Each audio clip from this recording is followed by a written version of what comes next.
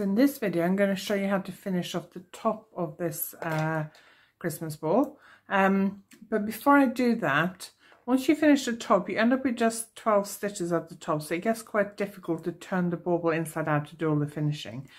So I'm actually going to do the weaving the ends, what I've done so far, before I um, shape the top. So first thing, excuse me, First thing I'm going to do is actually close up this hole at the bottom.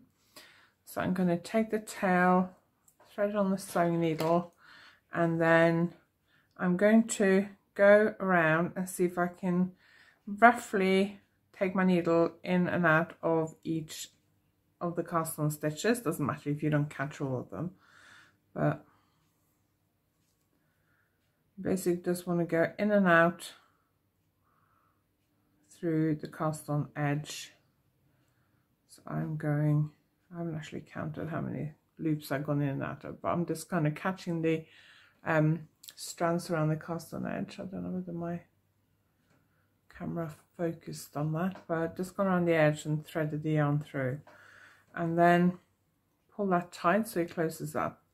Now there's a little bit of a gap here, so I'm just going to go across like that to close up that gap that's better. And then I've got a needle with a very big eye I don't know if you can see it which I really like but it means the yarn falls out quite easily. Okay and then I'm going to take the yarn through to the inside. I'm going to turn the knitting inside out and then I'm going to weave in this end. So you can leave this till the end, but because you've only got 12 stitches, it's really fiddly. So I do recommend that you do all this before you shape the top. So what I did was I did the colour work and then I um, knitted one round. So I knitted the first round of the um, shape the top section um, just because it's easier to do weaving the ends for the colour work after I've knitted a row. So I'm just just gonna weave in this end a little bit. There we go. That'll do. So trim that on. And then I'm going to weave in that end. that's the one for where I joined in the colour work.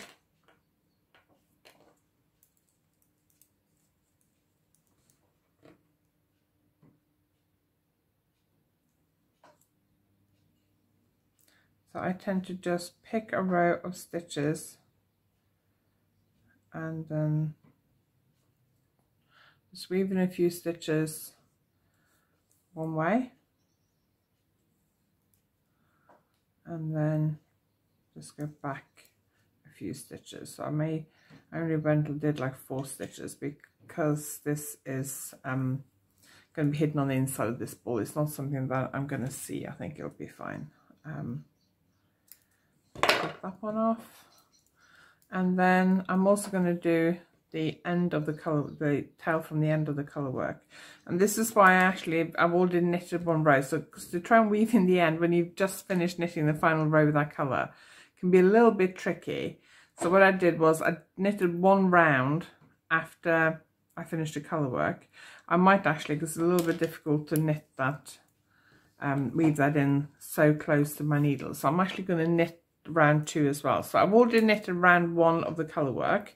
Um, so round one of the shape uh, top, which in the pattern says continue in C1.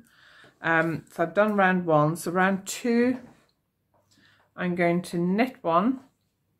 Then I'm going to do SSK. Now SSK is a left leaning decrease. So I slip on stitch knitwise, slip a second stitch knitwise, put my left needle into the front of both stitches from the left. So I just go into the front like that. So my right needle is in the right place to knit with it.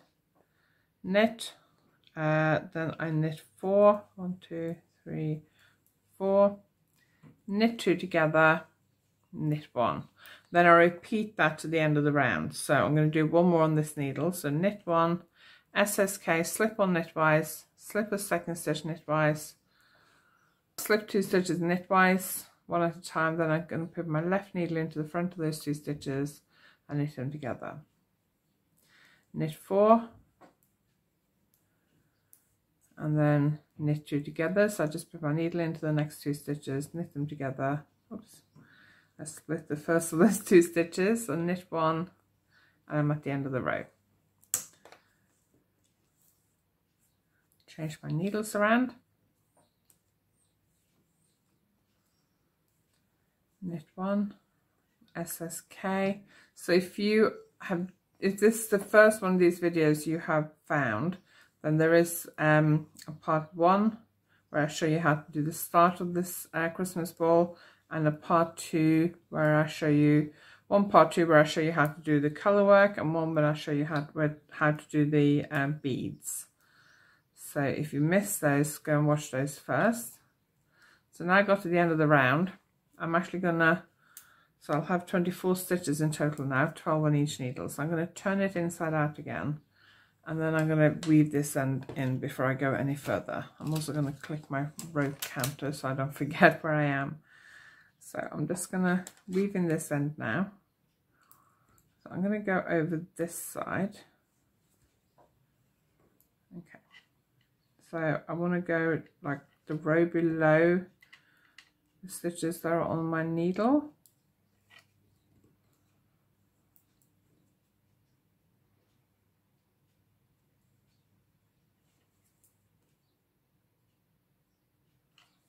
okay so I've just gone a few stitches one way and then I'm just going to go a few stitches the other way.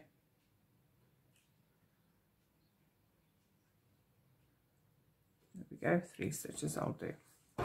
And then oh, that's a bit long trim, trim, trim that one. I nearly cut the, one of the stitches in my fabric actually there. That would have been a bit of a disaster if I'd cut my fabric. Okay so we're gonna do round three. So every other round is just a plain knit round so I'm just to knit round three now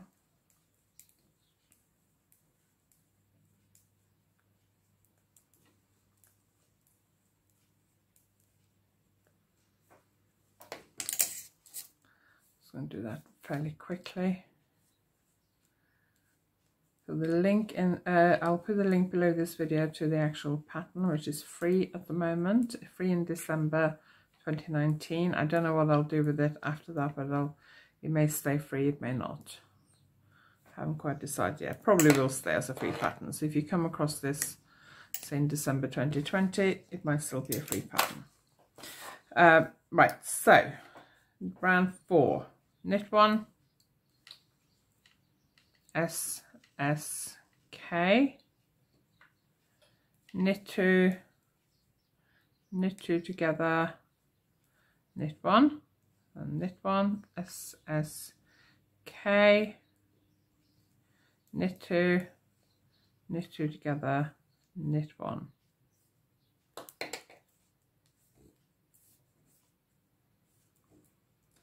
knit one SSK knit two, knit two together, knit one. If I'm going too fast for you, just pause me so you can catch up. But I don't want this video to be too long.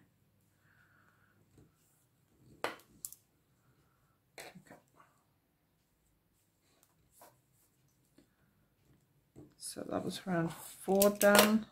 So round five is just a plain knit round. I did have a marker in the side there to mark the beginning of my round, but I took it out. And I probably should have left it until I finished this shaping.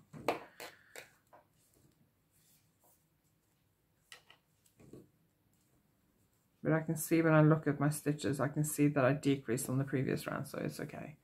Okay, so let me just finish this round.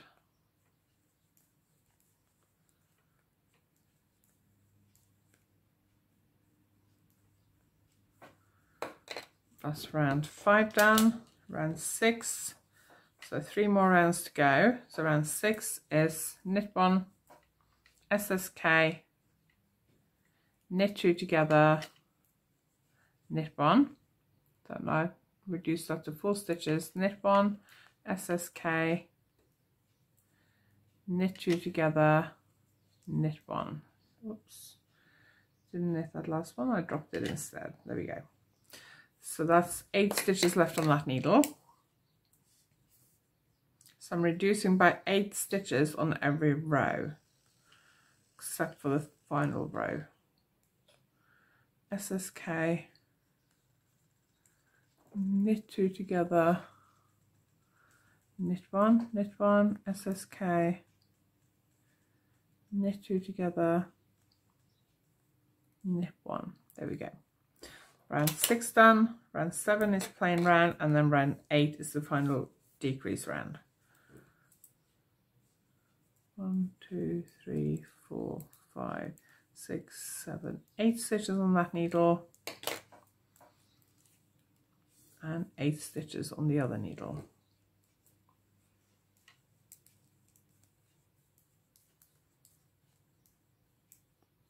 So that's round seven. So now we're going to do round eight.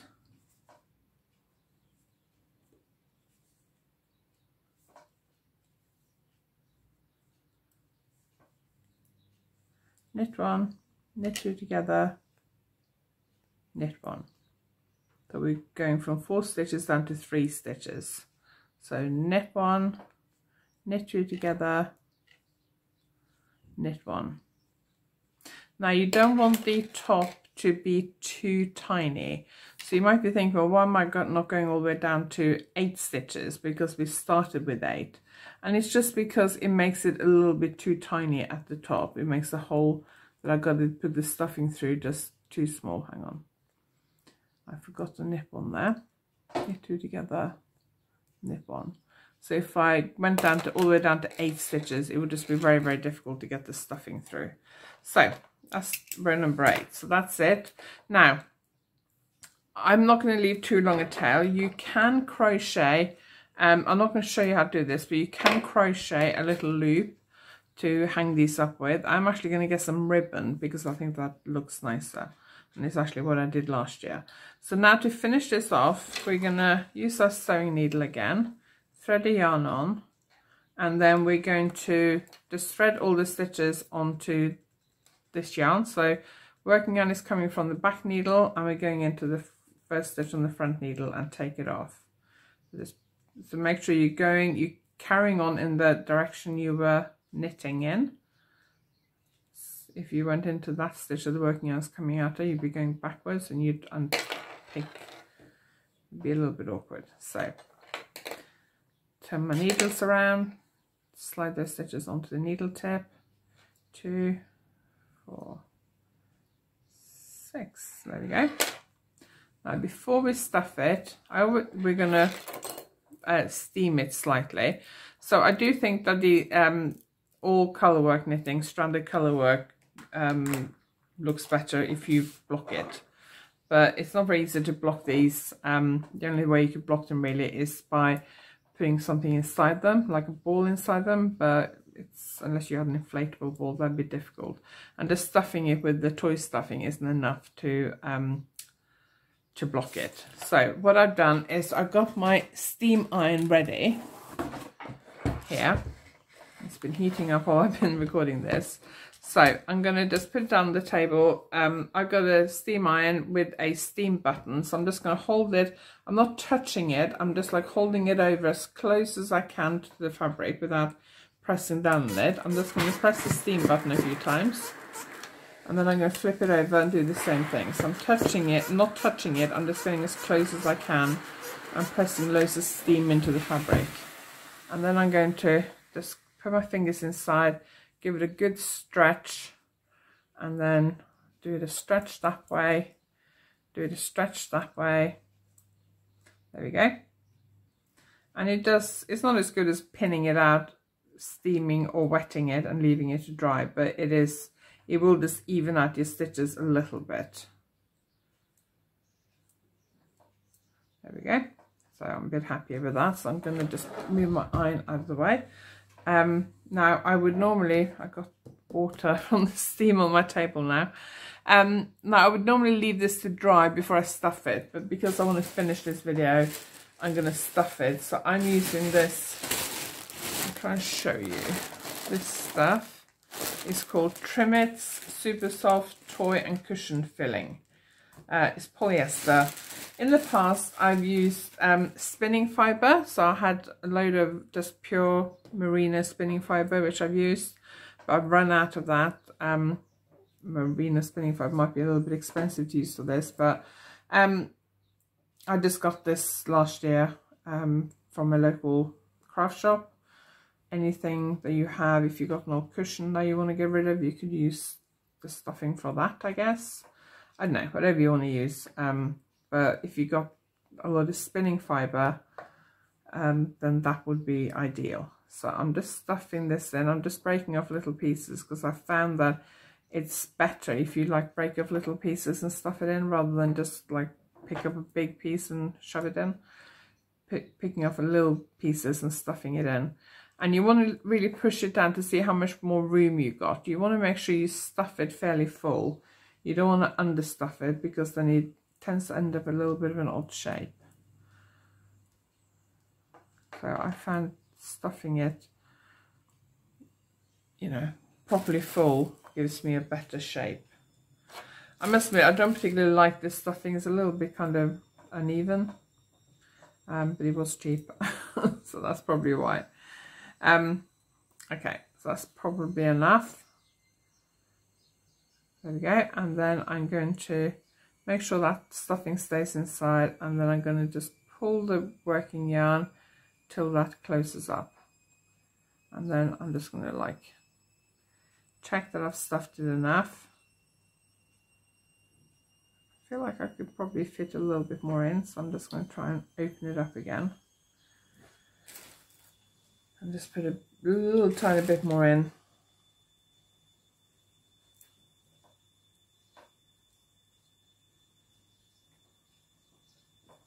There we go.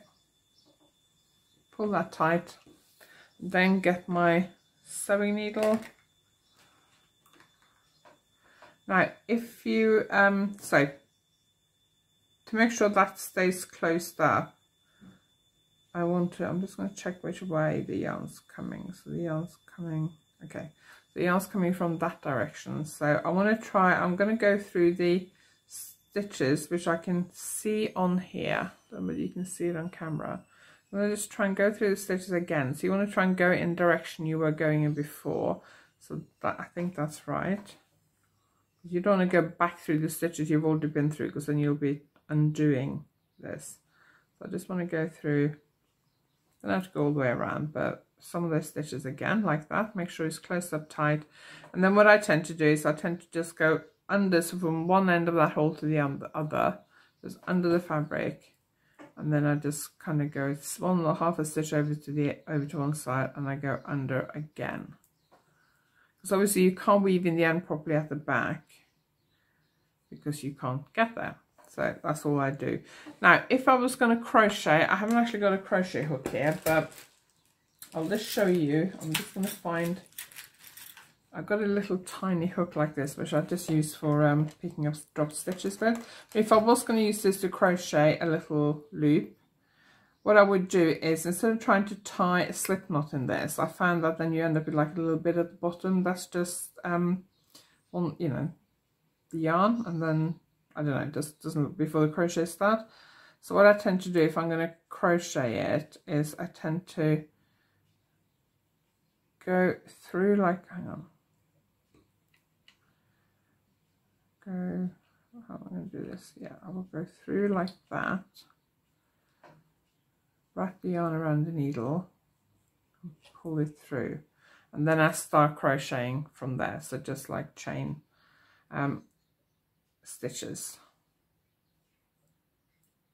like that. And I start crocheting from there.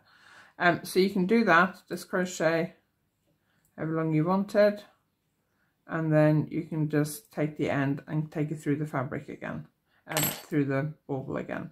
I'm not going to do that. What I'm actually going to do is I'm going to get some ribbon. I'm going shopping tomorrow, so I'm going to try and get some ribbon then. And then I will, or you can just use a bit of yarn, or you can crochet a chain, or do braid a chain, braid, little braid or something, and then thread it through. So what I'm going to do before I cut this off, I don't want to cut it off here because I've not woven it in properly. So what I'm going to do is just like half a stitch over from where the tail's coming out of the ball. Just going to go straight through the ball to the opposite side, like that. Just push your needle till it comes through. Pull that through. And then I'm just going to push, pull it really tight, push down on the ball, cut it, and then when you let the ball spring back, it buries the end inside. So if I was going to, so say this is a ribbon, or you can just use a piece of yarn, I would just take it through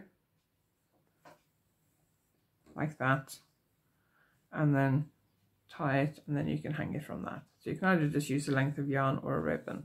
I'm going to see if I can get some nice ribbons, but if not, I will probably just use some grey yarn. So there you go. That's the final bauble. So this is what the set looks like. So we've got a Christmas tree one. I don't find the contrast between the green and the grey that great. So I'm actually going to knit this um, probably in this red colour. So the grey and the red, I think. Um, so we've got the Christmas tree, which is stranded colour work. And then we got this diamond shape pattern, which has also got beads in it. Now you don't have to do the beads if you don't want to. But I quite like the beads. And then we got this one, which is just beaded this one is a bit smaller. I've got a feeling I maybe I used a smaller needle size on this one because I had some other needles lying around. So this one's just got beads. And this one and this one's also got beads. This one is a couple of rounds more than that one, but it's the same number of stitches. And I thought I'd use the same number of, uh, same needle size, but this one's a lot bigger. It is two rounds. The beaded section is two rounds longer. Now with these two, if you don't like beads, you could, instead of um, where it says B on the chart, you could use another colour. So you could turn this into a stranded colour work pattern, which I might try and do actually. Um, I'm not going to offer a chance for that, but you can, where it says B, you can just do another colour and then turn it into a stranded colour work pattern. Okay, so I hope this was helpful. I hope you're enjoying making these and please tag me on Instagram if you share them. Uh, I'll put my Instagram links below um, and um, I hope you have a lovely Christmas.